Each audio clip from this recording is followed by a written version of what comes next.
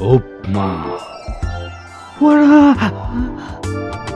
मैंने बनाया हाँ, गिफ्ट से। हाँ।